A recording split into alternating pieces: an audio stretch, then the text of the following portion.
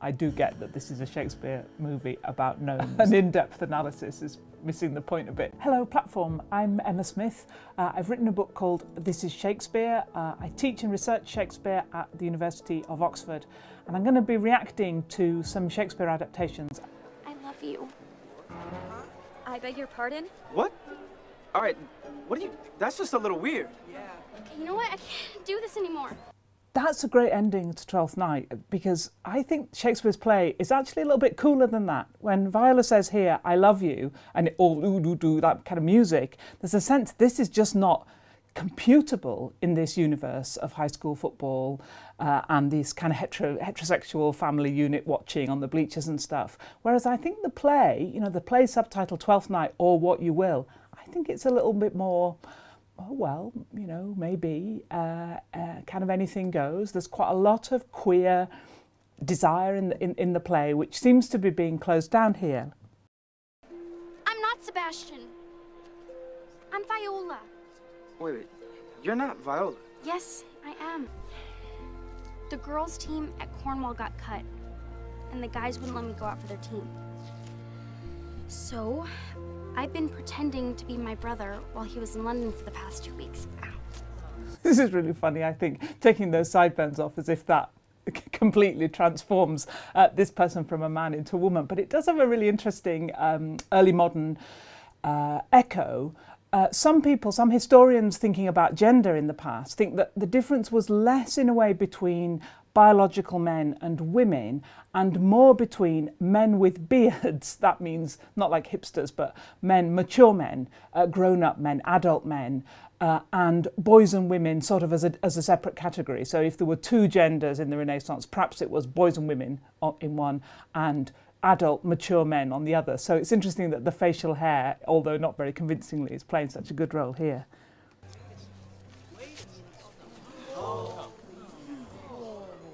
tells us a lot about gender norms, doesn't it, in our own day, that Viola, to prove that she is Viola, she has to have long hair. I mean, women can have short hair. Uh, she could have cut her hair to be in the football team, but just here to prove that really she is a proper feminine woman, she has to unloose all this long hair. It's a really stereotypical uh, sort of gendered uh, moment, like a kind of shampoo advert, isn't it, shaking out her hair, uh, and completely different. Remember, when this was performed, Shakespeare writes this for a male actor playing a woman, playing a man. So this sequence of revelations we've got here would have been very different. Just because you wear a wig doesn't prove you're a girl. Okay then. Merciful Jesus. All right, so everybody understand? So here, a recourse to the body. The body is what will tell us, um, and that's you know, quite old-fashioned in lots of ways. Even now, I think we're seeing something that's a bit dated about this movie, but it's completely different again from the Shakespearean stage. The one thing you could not do to prove that Viola was really a woman was to uh, lift up the costume because under Viola was actually a male body uh, because all actors were men. So the ending of Twelfth Night, the ending of the play Twelfth Night, particularly on the Shakespearean stage, I think is a lot more ambiguous, uh, a lot less uh, heterosexualized, if you like, a lot less straightened out. I think it's a queerer ending when what essentially happens is uh, one man, Orsino, agrees to marry another, uh, Cesario, in, in, in the play. Uh, there's no return of Viola in her women's clothes at the end of Shakespeare's play, and that's really important to the queer dynamic of the whole thing. Yeah, I get it. Okay. Wait a minute. If I kissed your brother, where is he? He's probably halfway to China by now. He showed his Willis and Doodleberry. Present. Oh, hi. What the? Okay, th this is freaking me out. So Sebastian looks quite like Viola in this, and that's an important uh, realist uh, kind of motif. We wouldn't kind of we wouldn't go with the story if they didn't look sufficiently alike. Uh, it's not completely true that, not completely clear that that would have been the case uh, for Shakespeare. We don't know that he had actors who looked particularly alike. In fact, one of his fellow playwrights, a guy called Ben Jonson, wrote that he wouldn't write a play about twins because he couldn't cast two people who looked sufficiently alike to make it work. Uh, he may have been a bit more pedantic than Shakespeare, but it may have been that there was a great act of sort of uh, imagination needed by the audience to say, yeah, well, actually, you, you guys don't look so similar, but I just have to go with this weird dream world of the play in which people keep mistaking you one for the other. Uh, ladies and gentlemen, I hate to say I told you so. I think he's the only gay character in it, but I don't think he knows. But I just. Ow. See, Duke? I didn't betray you. I'm sorry. This isn't how I wanted it to happen, and I didn't want to hurt you, but I just wanted to prove that I was good enough. I would love one of those Illyria team shirts. Extraordinary. Your story, it, it does put me in mind of another. It does? Oh, indeed, yes, there are remarkable similarities. What happens? Do they get back together then? Get back together? Um, no, not exactly. What exactly do you mean? Well, now, it really is quite good. Whoa, whoa. She feigns her death. He finds her, thinks her dead, takes his own life. She wakes, finds him dead, takes her life, both dead. Exeunt omnes, the end, curtain! Standing ovation! Bravo! Bravo! Author! Author! That's a great moment of uh, the Shakespeare statue talking about uh, the story of Romeo and Juliet. Uh, and it brings out loads of interesting things, actually. You wouldn't think so. Um, I do get that this is a Shakespeare movie about gnomes uh, and that probably uh, an in depth analysis is missing the point a bit. But it does bring out some really interesting things. The first is Romeo and Juliet uh, was always a well known story. Uh, it did draw on these previous stories. Most of Shakespeare's plays do draw on existing stories and they riff on the familiarity people have with the story. People don't seem to have enjoyed um, great plot twists or uncertainty in their entertainment uh, when Shakespeare was writing. What they wanted to see was uh, a shape or a story arc that they already knew, and they wanted to see the sort of uh, the nuances or the the different the different ways that you, you could get there. So the Romeo and Juliet plot of Doomed Lovers was, you know, already known quite widely through different versions of the story. Uh, but even if it wasn't, Shakespeare starts his play with this spoiler sonnet, two households, both alike in dignity and favour, and where, they, where we lay our scene, etc., etc., which tells us exactly uh, what's going to happen. Uh, so even if you had got to Romeo and Juliet and didn't know anything about the story, the chorus tells you exactly uh, what's going to happen. So it's within this uh, frame of uh, an awful certainty or a kind of awful inevitability. It's a really sort of interesting constraint on the play because it makes you wonder whether the characters are just kind of the pawns of fate or something, uh, star-crossed lovers, as the chorus calls them. Is there anything they could have done to make this different? Is it just all written kind of beforehand, uh, all pre preordained, predestined? And we get um, a kind of humorous take on that here. What did you say? They both die? What kind of an ending is that? My dear boy, this is a tragedy. Yeah, you're telling me, mate, it's rubbish. Rubbish. There's got to be a better ending than that. That suggestion that uh, that the lovers ought to get back together, that that's a different story arc or an alternative story arc. I think that's one that Shakespeare's playing with uh, in uh, Romeo and Juliet. Uh, the whole setup that there are children whose parents are against their uh, marriage, uh, that's a kind of comic setup. Um, that's a rom com setup where the couple can't be together because of some external uh, obstacle or something. And we know from rom coms in our own time what they have to do is to get round that obstacle uh, and get together. And that's what we're rooting for. And there's a sense that Shakespeare mobilizes that kind of expectation uh, in a way. Uh, in this play, and uh, some critics have felt this is a Romeo and Juliet as a play which misses being a comedy by about you know 20 seconds or something. It's uh, it's just the mismatch of the uh, of the lovers right at the end. So there are two really distinct ways of seeing it. One is to say this is a preordained tragedy. Nothing could have been different. It just is, and it was always going to be this way. And the other is to say, oh God, it was so nearly there.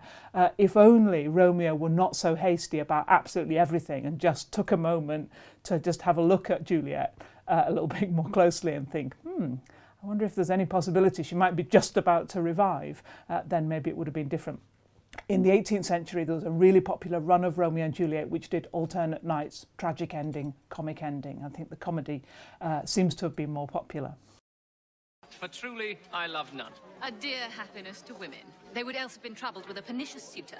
I thank God and my cold blood I am of your humour for that. I had rather hear my dog bark at a crow than a man swear he loves me what works really well here, I think, in that in that scene between Beatrice and Benedick is casting.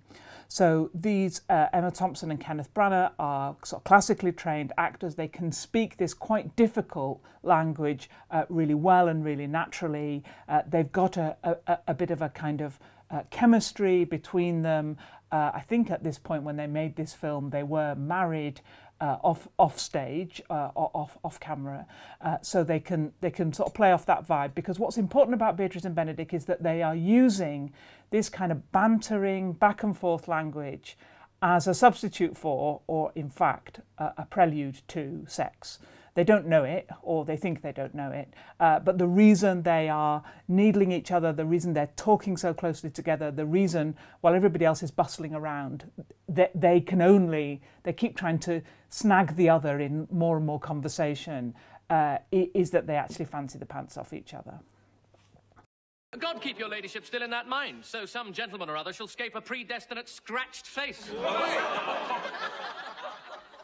Scratching could not make it worse, and for such a face as yours were. We tend to think, and actually Beatrice and Benedick are quite well matched. They're quite equal uh, figures.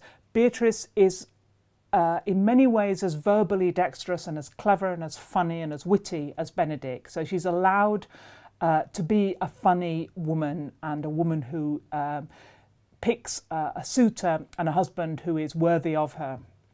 But she's also shown here to be quite isolated. Uh, when we see a shot of Benedick, we see all the men behind him laughing, and they're kind of part of his team. Uh, it helps that he's in a, a, uniform as part of the military uh, escapades which have preceded the play. So he's part of a team uh, who, who, who are identified as all being on the same side. Uh, because what Much Ado About Nothing comes out to be, I think, is a, is a real uh, battle of the sexes. Uh, not primarily between Beatrice and Benedick. In fact, they're the two who manage to uh, in some way transcend that binary. Uh, but the wider society is a completely uh, gender binary kind of world. And there's a whole um, structure, patriarchal structure in this play, which seems actually very mutual and reciprocal, which is actually, uh, I think, quite a dark element of it. And although this movie version doesn't really go there, it gives us a hint of it just by the way it isolates Beatrice in the doorway there and gives us um, Benedick with all his mates laughing at his jokes. I know you old.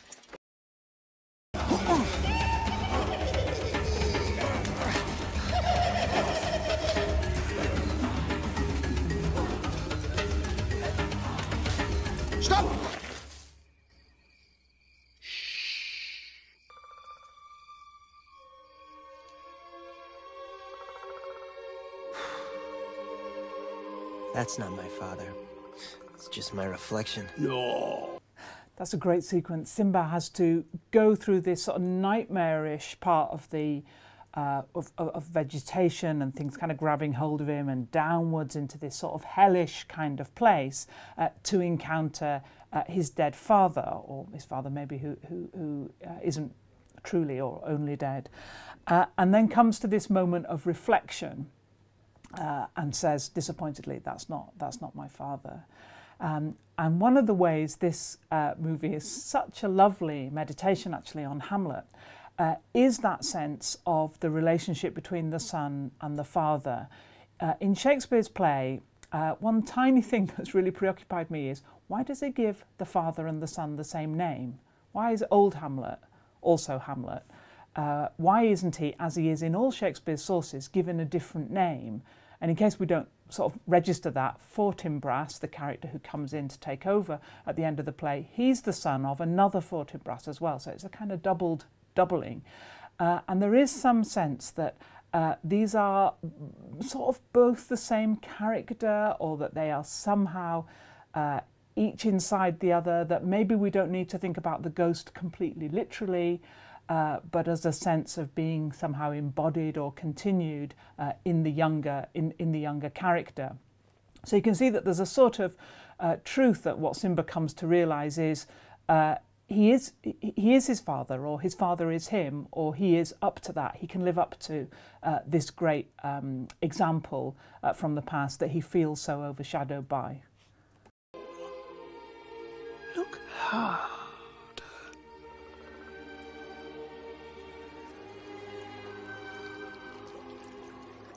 You see, He lives in you.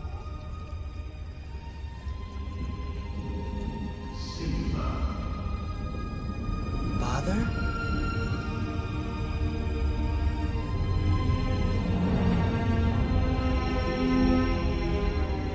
Simba, you have forgotten me. No. So, one aspect of Shakespeare's play is that uh, it's not so much about kings and princes and murders and even about ghosts. It's about mourning. It's about the completely natural and nevertheless traumatic and terrible experience almost all children will go through, which is that they have to survive the death of their parents. On the, on the one hand, that's the most natural thing in the world.